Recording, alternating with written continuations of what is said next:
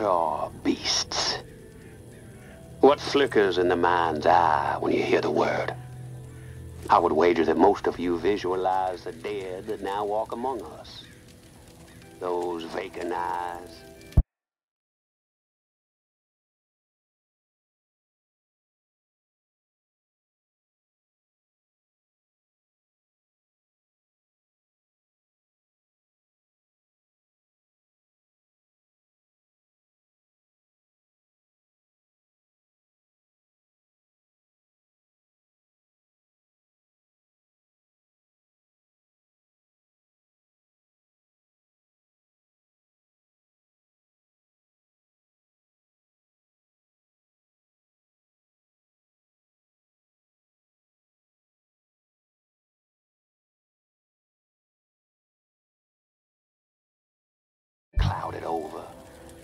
Those devouring mouths, always slack.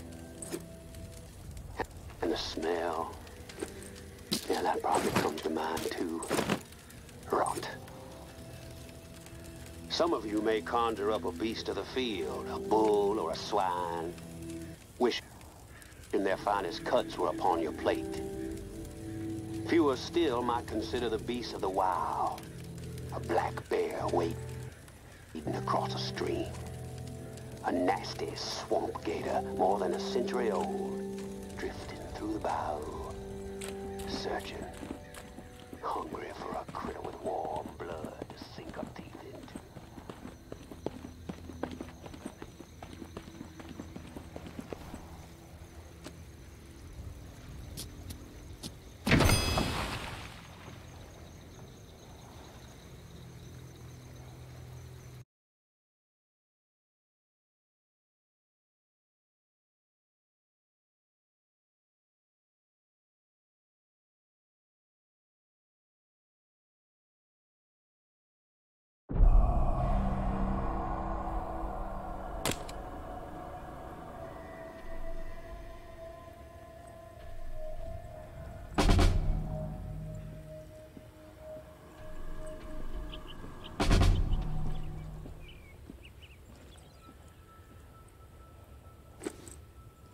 have no one else to turn to.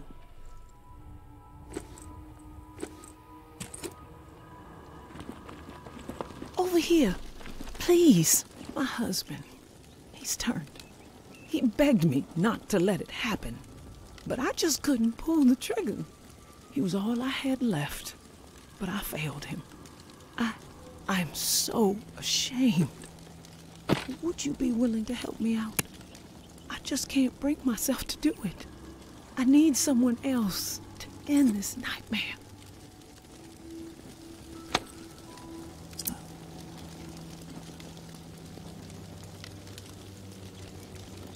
I will put him to rest. You will?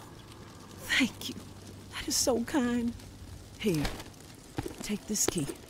I locked Reuben in a room, second floor of the Blue Mansion, just up the street. Noticed your watch. Looks like you've got the alarm in sync with the chiming bells that rile up the walkers every day. Smart. You don't want to be caught out in the open when this place is overrun by the dead. Sorry, I need a moment. Sorry if I'm being a bother.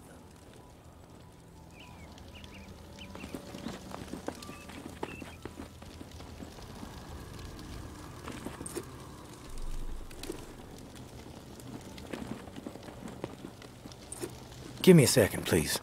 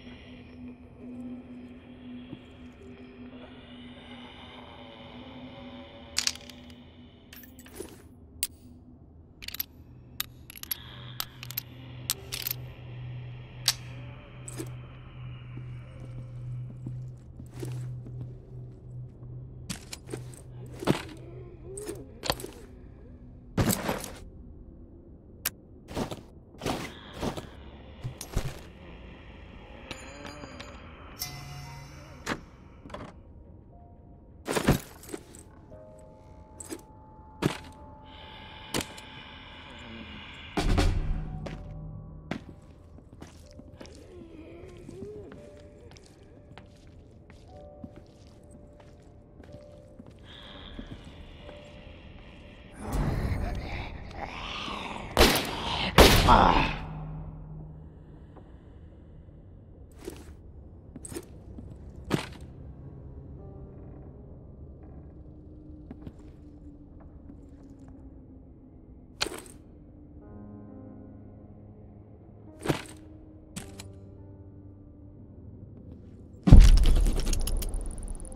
dearest Corinne, I lied to you. I am sorry. I had to spare you. A lost hope. Our children died by my hand. I had to set them free to protect them from a fate worse than death. I know you will never be able to forgive me, but maybe one day you will understand that I had no choice. They did not suffer. Take comfort in that, my love. Reuben.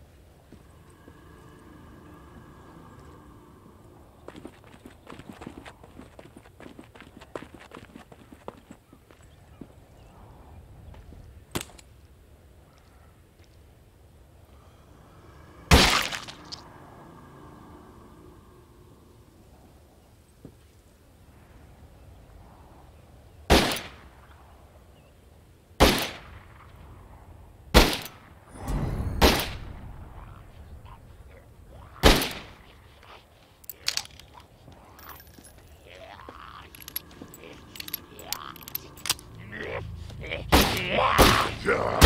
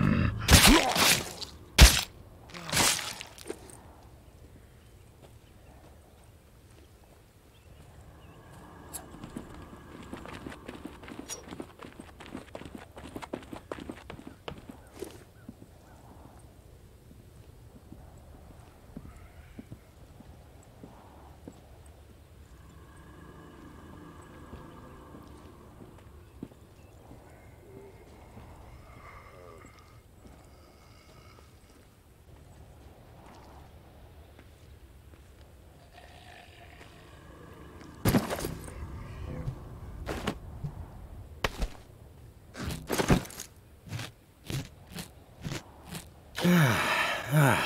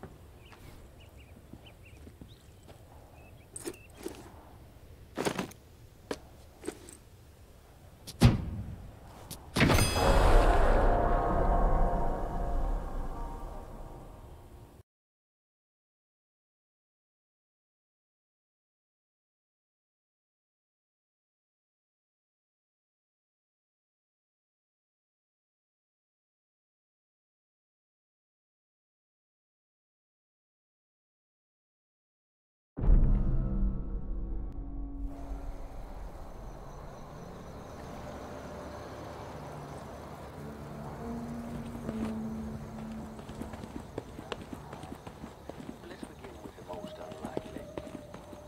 Mama is a ghost. She has never existed.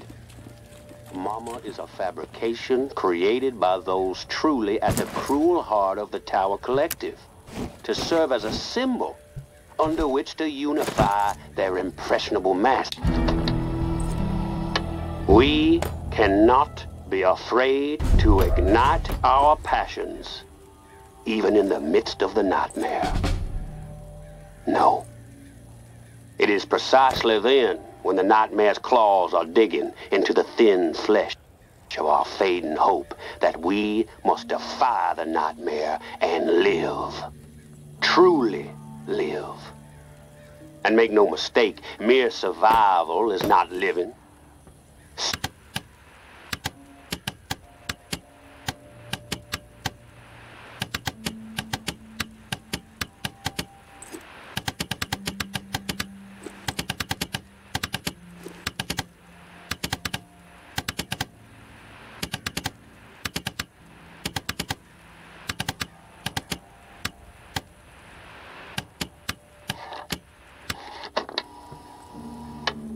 is she?